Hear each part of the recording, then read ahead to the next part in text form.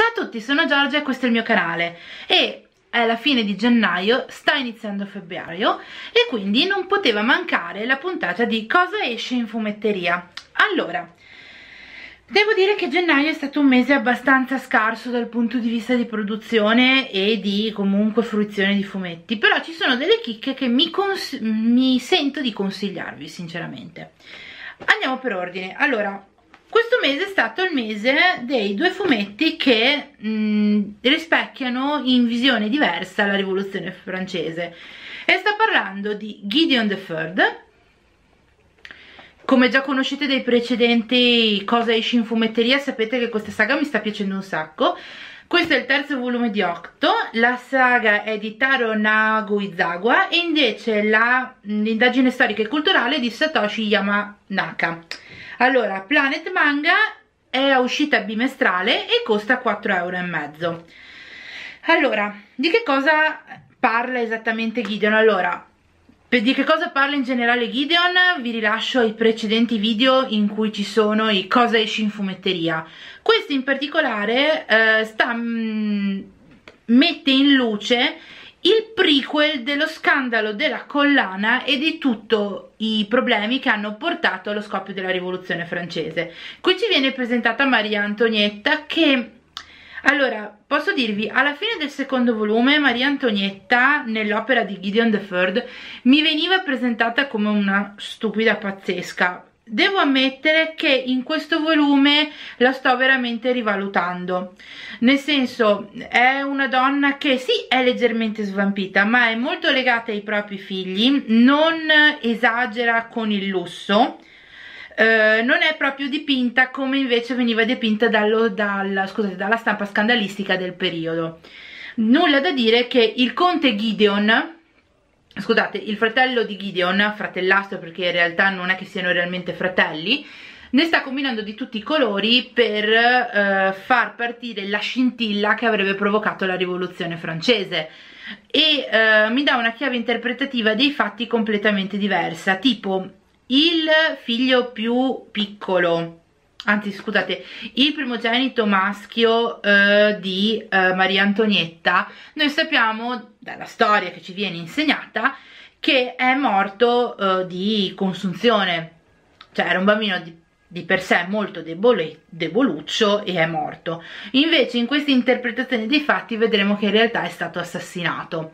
Mi mh, mm, mi sento di consigliarlo perché comunque è molto particolare, eh, da, non è il solito fumetto sulla rivoluzione francese.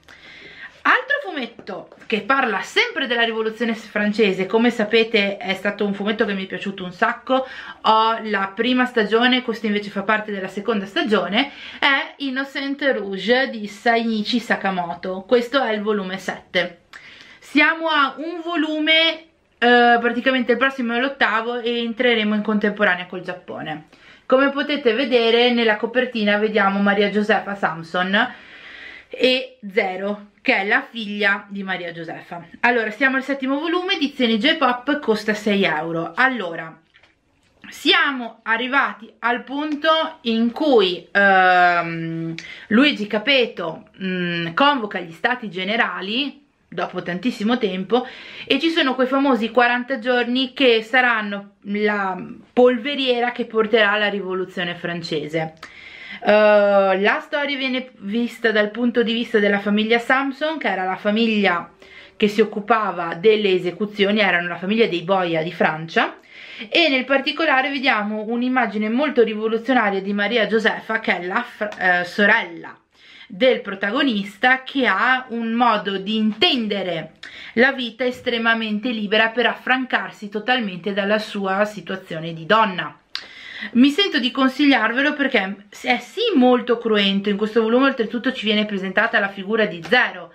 Zero è la figlia di Maria Giuseppa e viene chiamata Zero per essere totalmente avulsa dal significato di genere, quindi il fatto che è una è una bambina e che non appartiene più alla famiglia Samson perché eh, Maria Giuseppa abbracciando l'ideale della libertà della rivoluzione, dei moti rivoluzionari giacobini ha completamente tagliato i ponti con la sua famiglia di origine che comunque è una famiglia di pseudo nobili se vogliamo dirla tutta consigliatissimo anche questo non vedo l'ora di vedere fino a che punto uh, arriverà la storia essendo adesso in contemporanea col Giappone.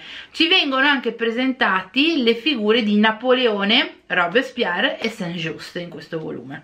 Poi Oltretutto vi consiglio di prenderli entrambi perché avete due visioni completamente diverse perché è visto da due punti di vista diversi della rivoluzione francese. Perché da questo punto di vista vediamo un'immagine di Luigi Capeto come un uomo molto infantile ma allo stesso tempo maturo però comunque ignaro di quello che sta succedendo fino a un certo punto mentre qui abbiamo la visione di Luigi Capeto come un uomo estremamente conscio della sua figura storica e istituzionale ma che allo stesso tempo vuole uh, vivere una vita diversa. Poi altro fumetto che sta arrivando purtroppo alla sua fine in quanto sono otto volumi totali e siamo già al sesto è Warsmood questo è il sesto volume edizioni J-Pop e costa 6,90 euro Uh, il fumetto è di Mitsuhisa Kui che, è, che ha lavorato insieme agli editori di Berserker. E io vedo che è stata istruita da, uh, da quello studio lì perché il livello di cruenza e di efferatezza del fumetto è abbastanza tangibile. Il tratto è molto basico rispetto ai precedenti fumetti che vi ho elencato in cui il tratto è molto elaborato e molto barocco da un certo punto di vista. Invece in Walsmood che è ambientato mm, praticamente parla del conflitto che è avvenuto nei cantoni del passo del San Gottardo in contrapposizione alla casata degli Asburgo vediamo che il tratto si fa molto più spigoloso, molto più crudo, ma nulla toglie il livello di efferatezza. Siamo arrivati al punto in cui i cantoni uniti decidono di attaccare il passo del San Gottardo e ci riescono e prendono il uh, balivo che si occupava della manutenzione del passo del San Gottardo e vi lascio lontanamente immaginare che fine ha fatto quel balivo in quanto era un uomo estremamente efferato e crudele che ha comunque lasciato un segno molto cruento e sanguinario durante più o meno tutto il volume e vi posso dire che la fine che ha fatto uh, Wolfman se la meritava tutta. Sono molto curiosa di sapere come si evolverà il volume successivo in quanto vediamo che gli Asburgo rendendosi conto che il passo del San Gottardo non è più sicuro decideranno di scendere e di muovere guerra. Sono molto curiosa di sapere come andrà a finire. So che in teoria a febbraio o a marzo dovrebbe uscire il settimo volume quindi siamo in dirittura d'arrivo. Consigliatissimo anche questo comunque Due fumetti invece che hanno lasciato decisamente il segno perché sono due novità che sono uscite nel mese di gennaio sono Gone from the Other Side, edizioni J-Pop, primo volume per il momento di 6 perché la serie è ancora in corso e costa 6,50 euro. L'autrice è Suril Harun. Allora, nel, il primo volume ti spiega tutto e niente. Sappiamo che questo ipotetico mondo fantasy è stato diviso da un muro da una parte ci sono gli estranei che sono queste creature nere che potete vedere in copertina. Questo è un estraneo. E invece dall'altra parte ci sono tutte le persone normali. Se tu vieni toccata da un estraneo diventi subisci la maledizione e diventi tu stessa un, un, estraneo praticamente, un essere maledetto. Sappiamo che la maledizione è stata è avvenuta perché due divinità in contrapposizione, la divinità bianca e la divinità nera, uh, di fatto si detestavano, la bianca portava la felicità, la nera invece portava la miseria, la, la, divinità nera è stata maledetta, è stata trasformata nel primo estraneo e qualunque cosa tocchi sia maledetta, eh, di, scusate, diventa maledetta. Cosa fa la divinità bianca? Tira su un muro e gli sbatte tutti quanti dall'altra parte. Come si articola la storia? La storia parla di Shiva, che è questa bambina qui, se mette a fuoco, che vive con questo estraneo che chiama il maestro. Shiva è stata abbandonata dall'altra parte del muro, è stata trovata dal maestro che si prende cura di lui, gli raccomanda di non venire mai toccata da nessun estraneo, anche lui non può effettivamente toccarla. Cosa succede? La gente che viene contaminata viene sbattuta dall'altra parte del muro e uccisa. Cosa veniamo a sapere? Veniamo a sapere che la nonna ha la famiglia di questa ragazzina l'ha abbandonata perché si credeva fosse maledetta ma vi dirò non si è ancora trasformata in un mostro nero quindi secondo me maledetta non è. Il maestro la trova e decide di prendersi cura di lei omettendogli però il fatto che è stata abbandonata. Ora accidentalmente la bambina verrà toccata da un estraneo il fumetto si ferma proprio nel momento in cui l'estraneo gli tocca la guancia quindi non sappiamo effettivamente cosa succederà. Scopriremo tutto nel prossimo volume. Vi posso dire che il fumetto è veramente molto basilare ha queste trame molto oniriche che mi sono piaciute un sacco.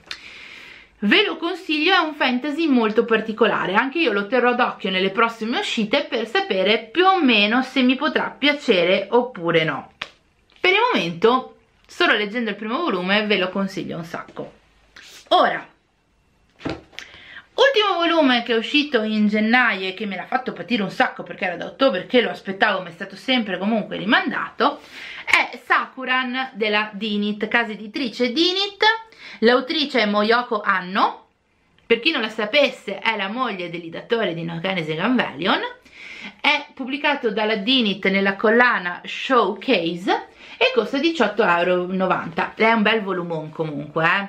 Allora, di che cosa parla? Allora, siamo nel periodo presumo Edo, perché ci sono ancora i samurai in Ronin, e parla di una prostituta nel quartiere di, del piacere, da che viene comprata, mh, mm, da, cioè praticamente viene comprata da un uomo che si occupa di passare di villaggio in villaggio per prendere le ragazzine più appetibili e viene portata in questo Okia in cui verrà istruita per, nei vari gradi di evoluzione fino a diventare un Attanio. Un Attanio non è esattamente una geisha, ma non è allo stesso tempo neanche una prostituta di bassa lega.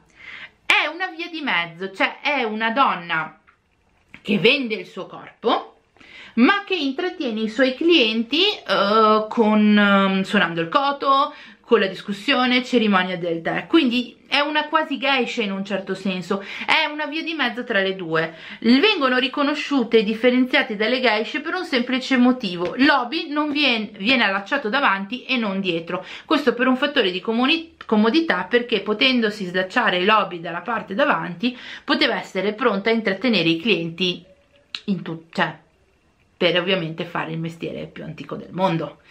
Ora, Tutta la storia percor viene, percorre il momento da cui viene comprata da questo ragazza, questo signore che compra le bambine, fino a diventare una delle tanie più affermate della sua casa. Percorrendo tutto un sentiero che sa molto di cultura nipponica, riguardante il fatto di Uh, non poter esistere al di fuori delle mura del piacere del quartiere dei, a luci rosse di quel periodo. Quindi il fatto che lei nega l'amore ma allo stesso tempo ne attratta e che comunque nessun uomo si può innamorare di una Tagno ora questo è quello che è uscito in fumetteria nel mese di gennaio. In realtà è uscito molto di più però io ho deciso di comprare solo questi titoli e mi sento anche caldamente di consigliarveli tutti perché sono veramente validi. Spero che la rubrica ti sia piaciuta spero che ti abbia intrattenuto Uh, qui sotto ti lascio il mio contatto Instagram dove puoi vedere la mia quotidianità. Ti invito a mettere mi piace al canale scusate al video se ti è piaciuto e iscriverti al canale se eh, trovi divertente comunque i contenuti che produco. Sappi che se ti iscrivi al canale metti mi piace ai video il canale cresce e io cresco insieme a lui. Detto questo il video finisce qui e ciao a tutti